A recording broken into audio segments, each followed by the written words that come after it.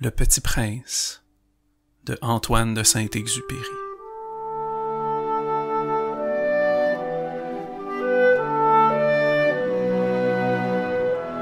Il se trouvait dans la région des astéroïdes 325, 326, 327, 328, 329 et 330. Il commença donc par les visiter pour y chercher une occupation et pour s'instruire. Le premier était habité par un roi. Le roi siégeait, habillé de pourpre et d'hermine, sur un trône très simple et cependant majestueux. Ah, voilà un sujet, s'écria le roi, quand il aperçut le petit prince. Et le petit prince se demanda Comment peut-il me reconnaître puisqu'il ne m'a encore jamais vu? Il ne savait pas que, pour les rois, le monde est très simplifié. Tous les hommes sont des sujets. Approche-toi que je te vois mieux, lui dit le roi, qui était tout fier d'être enfin roi pour quelqu'un. Le petit prince chercha des yeux où s'asseoir, mais la planète était tout encombrée par le magnifique manteau d'hermine. Il resta donc debout, et comme il était fatigué, il bâilla. Il est contraire à l'étiquette de bailler en présence d'un roi, lui dit le monarque. Je te l'interdis. Je ne peux pas m'en empêcher, répondit le petit prince tout confus. J'ai fait un long voyage et je n'ai pas dormi. Alors, lui dit le roi, je t'ordonne de bailler. Je n'ai vu personne bailler depuis des années. Les bâillements sont pour moi des curiosités. Allons, baille encore, c'est un ordre. Ça m'intimide. Je ne peux plus, fit le petit prince tout rougissant. Hum, hum. répondit le roi. Alors je. Je t'ordonne tantôt de bailler et tantôt de. Il bredouillait un peu et paraissait vexé. Car le roi tenait essentiellement à ce que son autorité fût respectée. Il ne tolérait pas la désobéissance. C'était un monarque absolu. Mais, comme il était très bon, il donnait des ordres raisonnables. Si j'ordonnais, disait-il couramment, si j'ordonnais à un général de se changer en oiseau de mer, et si le général n'obéissait pas, ce ne serait pas la faute du général, ce serait ma faute. Puis-je m'asseoir? s'enquit timidement le petit prince. Je t'ordonne de t'asseoir, lui répondit le roi, qui ramena majestueusement un pan de son manteau d'hermine. Mais le petit prince s'étonnait. La planète était si minuscule.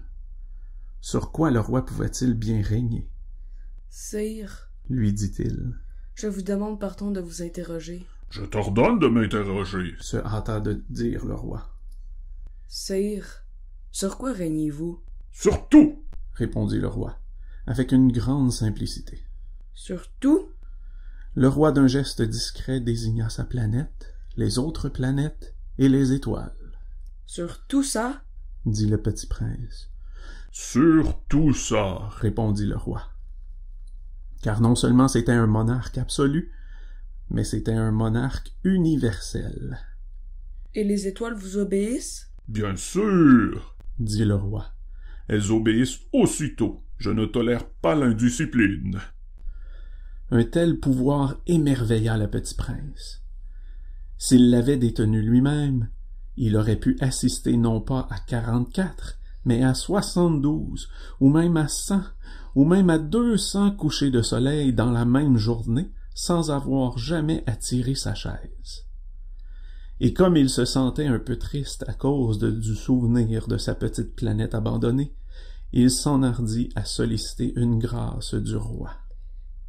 Je voudrais voir un coucher de soleil. Faites-moi plaisir. Ordonnez au soleil de se coucher.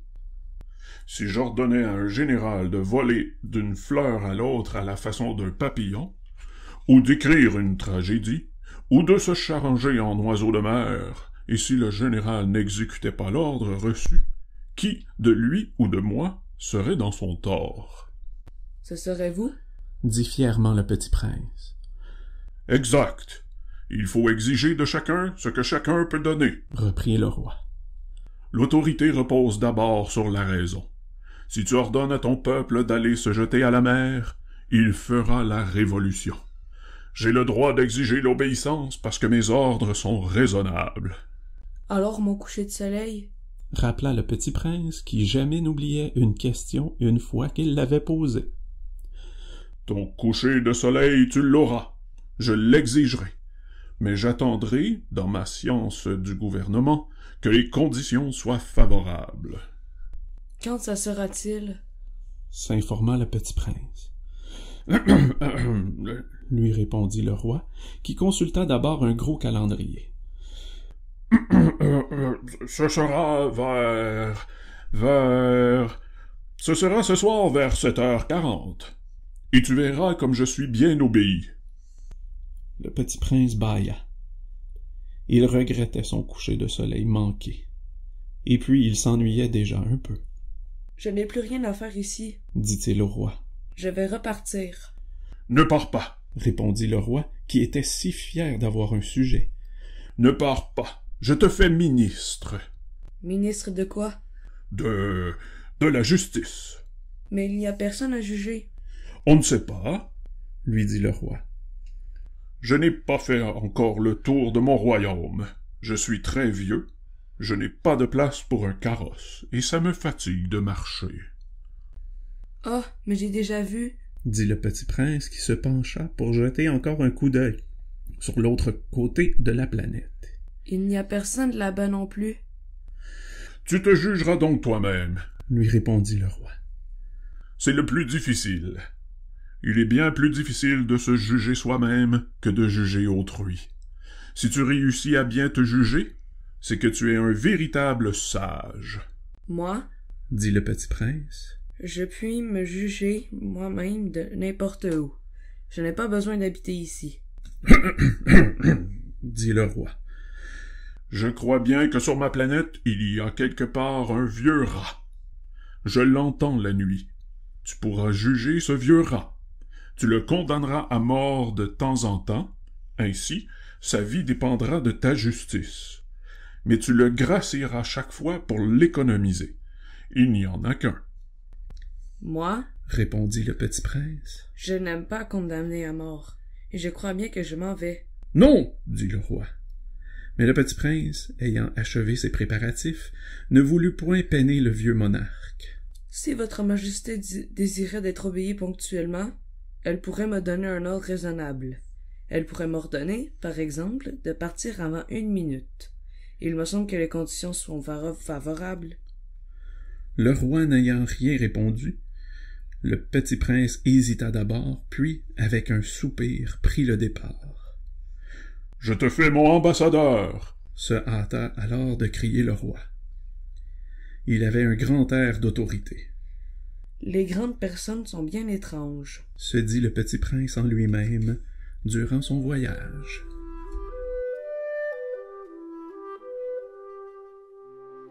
La seconde planète était habitée par un vaniteux. Ah ah Voilà la visite d'un admirateur s'écria de loin le vaniteux dès qu'il aperçut le petit prince. Car, pour les vaniteux, les autres hommes sont des admirateurs. Bonjour, dit le petit prince. Vous avez un drôle de chapeau.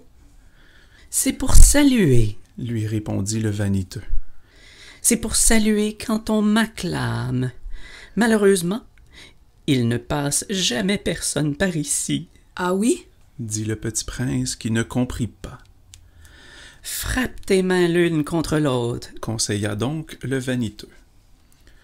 Le petit prince frappa ses mains l'une contre l'autre. Le vaniteux salua modestement en soulevant son chapeau.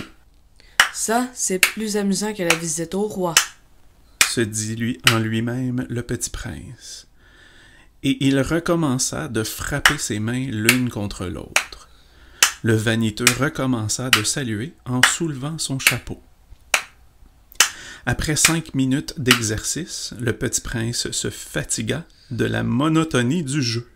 Et pour que le chapeau tombe, demanda-t-il, que faut-il faire? Mais le vaniteux ne l'entendit pas. Les vaniteux n'entendent jamais que les louanges.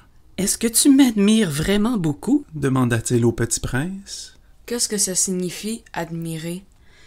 Admirer signifie reconnaître que je suis l'homme le plus beau, le mieux habillé, le plus riche et le plus intelligent de la planète. Mais tu es seul sur ta planète. Fais-moi ce plaisir. Admire-moi quand même. Je t'admire. dit le petit prince, en haussant un peu les épaules. Mais en quoi cela peut-il bien t'intéresser? Et le petit prince s'en fut, Les grandes personnes sont décidément bien bizarres. se dit-il simplement en lui-même durant son voyage. La planète suivante était habitée par un buveur. Cette visite fut très courte, mais elle plongea le petit prince dans une grande mélancolie. Que fais-tu là? Dit-il au buveur, qu'il trouva installé en silence devant une collection de bouteilles vides et une collection de bouteilles pleines. Je bois, répondit le buveur d'un air lugubre, Pourquoi bois-tu? lui demanda le petit prince. Pour oublier, répondit le buveur, Pour oublier quoi? S'enquit le petit prince qui déjà le plaignait. Pour oublier que j'ai honte, avoua le buveur en baissant la tête. Honte de quoi? S'informa le petit prince qui désirait le secourir. Honte de boire acheva le buveur qui s'enferma définitivement dans le silence. Et le petit prince s'en fut perplexe. Les grandes personnes sont décidément très très bizarres. se disait-il en lui-même durant le voyage.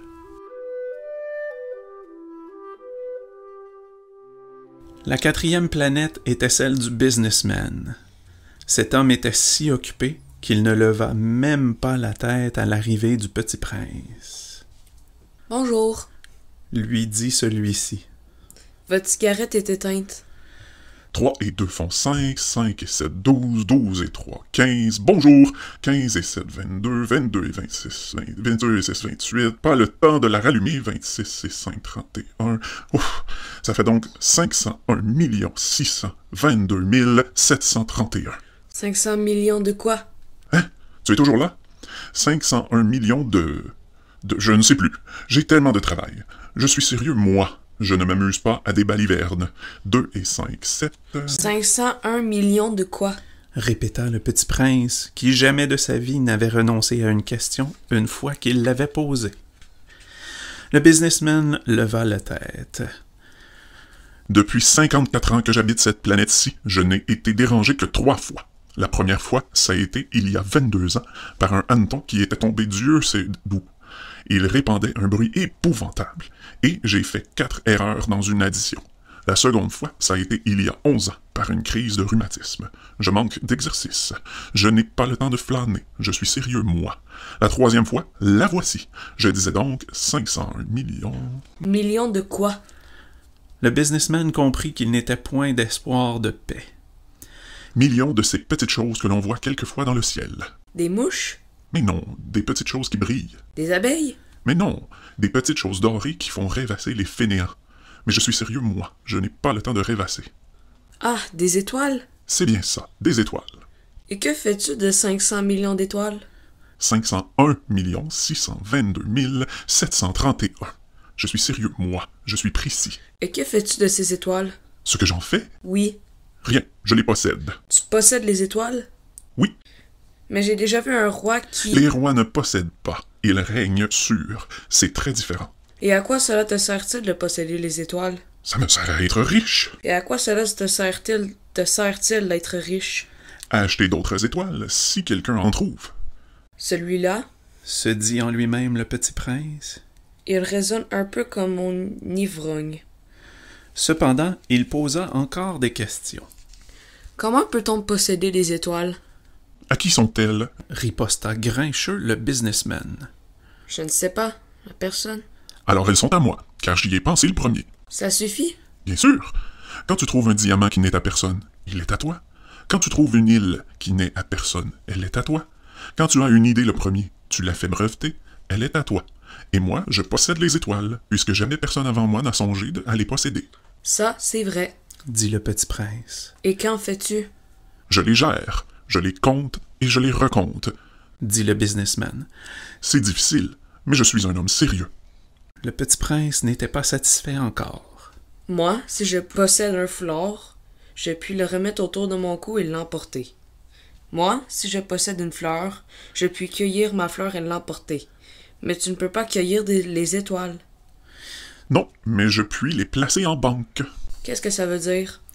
Ça veut dire que j'écris sur un petit papier le nombre de mes étoiles, et puis j'enferme à clé ce papier-là dans un tiroir. Et c'est tout? Ça suffit. C'est amusant. Pensa le petit prince. C'est assez poétique. Mais ce n'est pas très sérieux.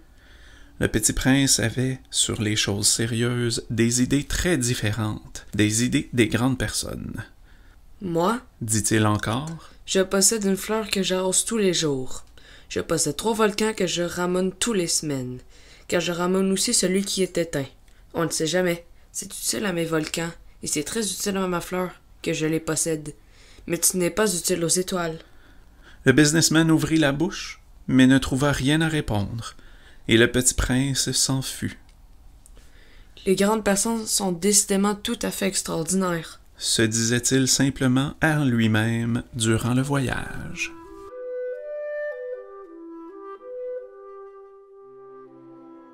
La cinquième planète était très curieuse. C'était la plus petite de toutes. Il y avait là juste assez de place pour loger un réverbère et un allumeur de réverbère. Le petit prince ne parvenait pas à s'expliquer à quoi pouvait servir, quelque part dans le ciel, sur une planète sans maison ni population, un réverbère et un allumeur de réverbère. Cependant, il se dit en lui-même Peut-être bien que cet homme est absurde. Cependant, il est moins absurde que le roi, que le vaniteux, que le businessman et que le buveur. Au moins son travail, son a-t-il un sens? Quand il allume son réverbère, c'est comme s'il faisait naître une étoile de plus ou une fleur. Quand il était sur réverbère, s'endort la fleur ou l'étoile. C'est une occupation très jolie.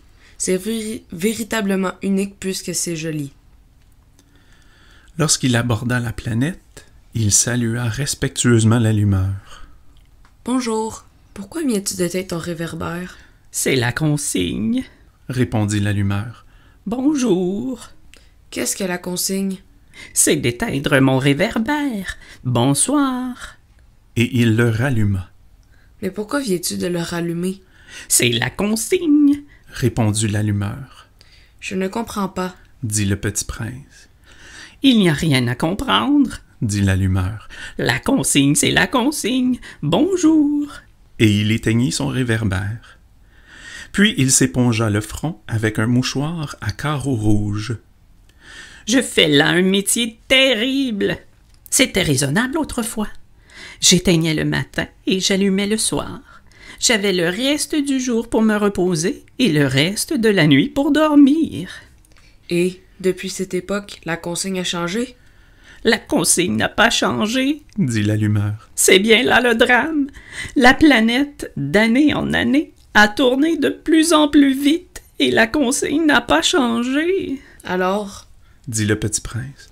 Alors maintenant qu'elle fait un tour par minute, je n'ai plus une seconde de repos. J'allume et j'éteins une fois par minute. ça c'est drôle. Les jours, chez, les jours chez toi durent une minute. Ce n'est pas drôle du tout. dit l'allumeur. Ça fait déjà un mois que nous parlons ensemble. Un mois? Oui, trente minutes, trente jours. Bonsoir. Et il ralluma son réverbère. Le petit prince le regarda, et il aima cette allumeur qui était tellement fidèle à la consigne. Il se souvint des couchers de soleil que lui-même allait autrefois chercher en tirant sa chaise. Il voulut aider son ami. Tu sais, je connais un moyen de te reposer quand tu voudras. Je veux toujours. dit l'allumeur, car on peut être à la fois fidèle et paresseux. Le petit prince poursuivit. Ta planète est tellement petite que tu en fais le tour en trois enjambées. Tu n'as qu'à marcher assez lentement pour rester toujours au soleil. Quand tu voudras te reposer, tu marcheras, et le jour durera aussi longtemps que tu le voudras. Ça ne m'avance pas à grand-chose. dit l'allumeur. Ce que j'aime dans la vie, c'est dormir. Ce n'est pas de chance. dit le petit prince. Ce n'est pas de chance. dit l'allumeur. Bonjour. Et il éteignit son réverbère. Celui-là, se dit le petit prince, tandis qu'il poursuivait plus loin son voyage. celui-là serait méprisé par tous les autres, par le roi, par le vaniteux, par le buveur, par le businessman. Cependant, c'est le seul qui ne me paraisse pas ridicule. C'est, peut-être, parce qu'il s'occupe d'autre chose que de soi-même. Il eut un soupir de regret et se dit encore Celui-là est, est le seul dont j'eusse pu faire mon ami. Mais sa planète est vraiment trop petite. Il n'y a pas de place pour deux. Ce que le petit prince n'osait pas s'avouer, c'est qu'il regrettait cette planète bénie à cause, surtout, des 1440 couchers de soleil par 24 heures.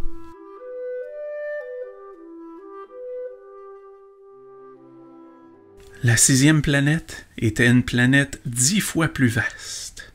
Elle était habitée par un vieux monsieur qui écrivait d'énormes livres. Tiens, voilà un explorateur. s'écria-t-il quand il aperçut le petit prince. Le petit prince s'assit sur la table et souffla un peu. Il avait déjà tant voyagé. D'où viens-tu? lui dit le vieux monsieur, Quel est ce gros livre? Dit le petit prince, Que faites-vous ici? Je suis géographe. dit le vieux monsieur. Qu'est-ce qu'un géographe? C'est un savant qui connaît où se trouvent les mers, les fleuves, les villes, les montagnes et les déserts. Ça, c'est bien intéressant. dit le petit prince. Ça, c'est enfin un véritable métier. Et il jeta un coup d'œil autour de lui sur la planète du géographe. Il n'avait jamais vu encore une planète aussi majestueuse. Elle est bien belle, votre planète. Est-ce qu'il y a des océans? Je ne puis pas le savoir. dit le géographe. Ah, Le petit prince était déçu, et des montagnes? Je ne puis pas le savoir. dit le géographe. Et des villes, et des et des fleuves, et des déserts? Je ne puis pas le savoir non plus. dit le géographe. Mais vous êtes géographe. C'est exact. dit le géographe. Mais je ne suis pas explorateur. Je manque absolument d'explorateurs. Ce n'est pas le géographe qui va faire le compte des villes, des fleuves, des montagnes, des mers, des océans et des déserts. Le géographe est trop important pour flâner. Il ne quitte pas son bureau, mais il reçoit des explorateurs. Il les interroge et il prend en note leurs souvenirs.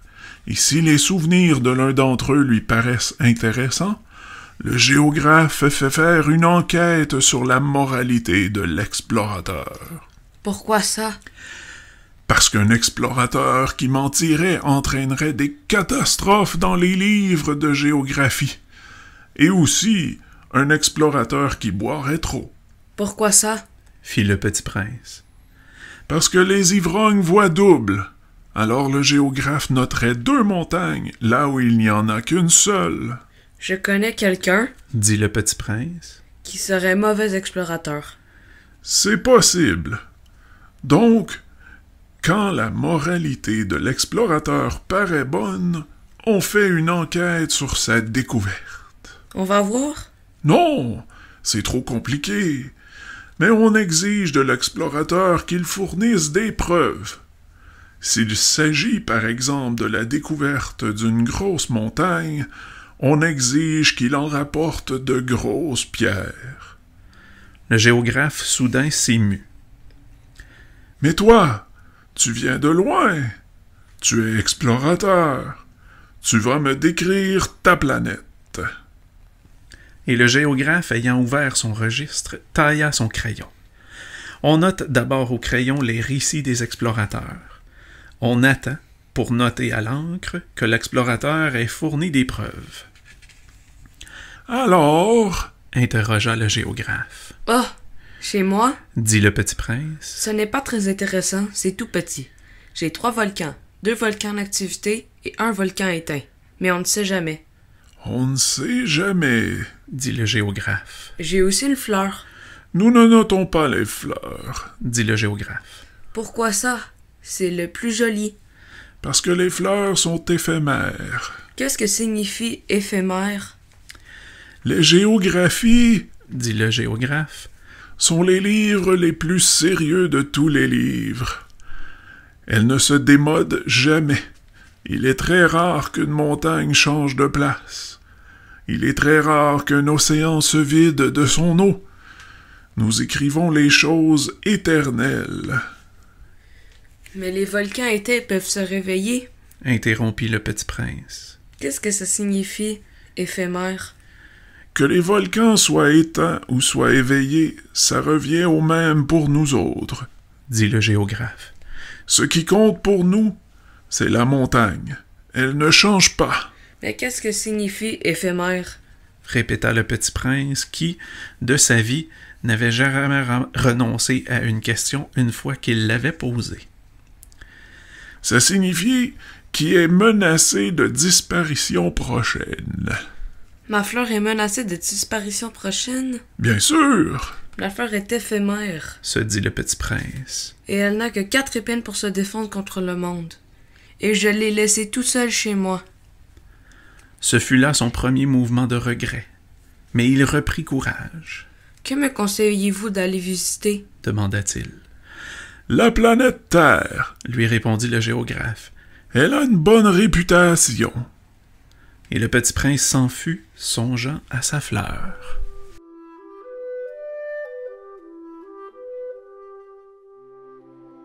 La septième planète fut donc la Terre. La Terre n'est pas une planète quelconque.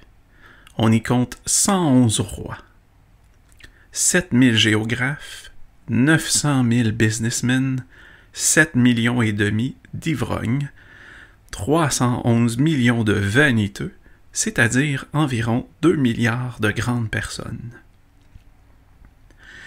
Pour vous donner une idée des dimensions de la Terre, je vous dirai qu'avant l'invention de l'électricité, on, y devait entretenir sur l'ensemble des six continents une véritable armée de 462 511 allumeurs de réverbères.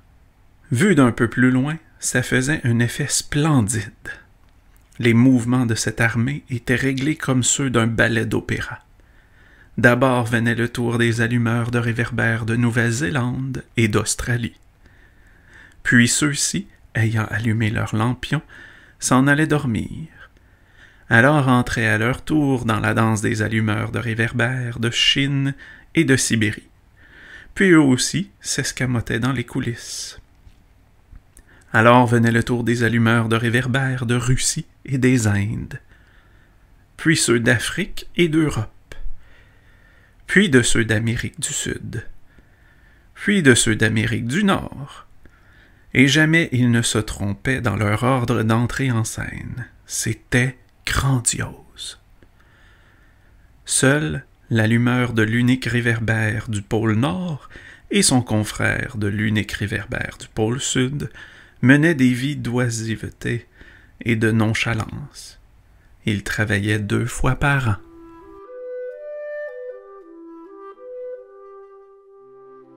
Quand on veut faire de l'esprit, il arrive que l'on mente un peu. Je n'ai pas été très honnête en vous parlant des allumeurs de réverbères. Je risque de donner fausse idée de notre planète à ceux qui ne la connaissent pas. Les hommes occupent très peu de place sur la Terre. Si les deux milliards d'habitants qui peuplent la Terre se tenaient debout et un peu serrés, comme pour un meeting, il logerait aisément sur une place publique de 20 000 de long sur 20 000 de large. On pourrait entasser l'humanité sur le moindre petit îlot du Pacifique. Les grandes personnes, bien sûr, ne vous croiront pas. Elles s'imaginent tenir beaucoup de place. Elles se voient importantes comme des baobabs. Vous leur conseillerez donc de faire le calcul. Elles adorent les chiffres, ça leur plaira mais ne perdez pas votre temps à ce pensum. C'est inutile. Vous avez confiance en moi. Le petit prince, une fois sur terre, fut donc bien surpris de ne voir personne. Il avait déjà peur de s'être trompé de planète, quand un anneau de couleur de lune remua dans le sable. Bonne nuit. fit le petit prince à tout hasard, Bonne nuit. fit le serpent, Sur quelle planète suis-je tombé? demanda le petit prince, Sur la terre, en Afrique. Répondit le serpent. Ah, il n'y a donc personne sur la Terre? Ici, c'est le désert. Il n'y a personne dans les déserts. La terre est grande. dit le serpent. Le petit prince s'assit sur une pierre et leva les yeux vers le ciel. Je me demande Dit-il, si les étoiles sont éclairées afin que chacun puisse un jour retrouver la sienne. Regarde ma planète. Elle est juste au-dessus de nous. Mais comme elle est loin, Elle est belle. dit le serpent. Que viens-tu faire ici? j'ai des difficultés avec une fleur. Dit le petit prince, Ah, fit le serpent. Et ils se turent. Où sont les hommes? Reprit enfin le petit prince. On est un peu seul dans le désert. on est seul aussi chez des hommes. dit le serpent. Le petit prince le regarda longtemps. Tu es une drôle de bête, Lui dit-il enfin. mince comme un doigt. Mais je suis plus puissant que le doigt d'un roi. dit le serpent. Le petit prince eut un sourire. Tu n'es pas bien puissant. Tu n'as même pas de pattes. Tu ne peux même pas voyager. Je puis t'emporter plus loin qu'un navire. dit le serpent. Il s'enroula autour de la cheville du petit prince comme un bracelet d'or. Celui que je touche, je le rends la terre dont il est sorti. dit-il encore. Mais tu es pur et tu viens d'une étoile. Le petit prince ne répondit rien. Tu me fais pitié, toi si faible, sur cette terre de, gran... de granit. Je puis t'aider un jour si tu regrettes trop ta planète. Je puis. Oh, j'ai bien, très bien compris. fit le petit prince. Mais pourquoi parles-tu toujours par énigme? Je les résous toutes. dit le serpent. Et ils se turent. Le petit prince traversa le désert et ne rencontra qu'une fleur. Une fleur à trois pétales. Une fleur de rien du tout, Bonjour. dit le petit prince. Bonjour. Dit la fleur. Où sont les hommes? demanda poliment le petit prince. La fleur un jour avait vu passer une caravane. Les hommes, il en existe, je crois, six ou sept. Je les ai aperçus il y a des années, mais on ne sait jamais où les trouver. Le vent les promène. Ils manquent ra- de racines. Ça les gêne beaucoup. Adieu. Fit le petit prince, Adieu. dit la fleur.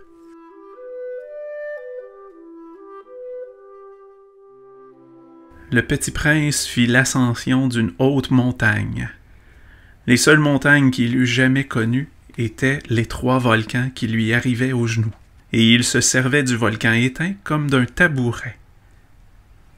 D'une montagne haute comme celle-ci, Se dit-il donc, j'apercevrais d'un coup toute la planète et tous les hommes.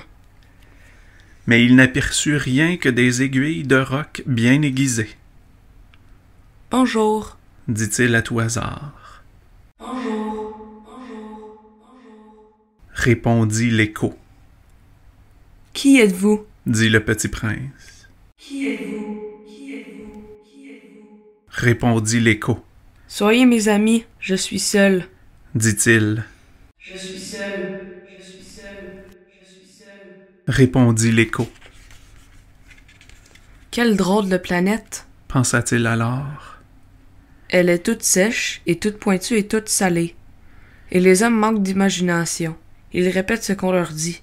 Chez moi, j'avais une fleur. Elle parlait toujours la première.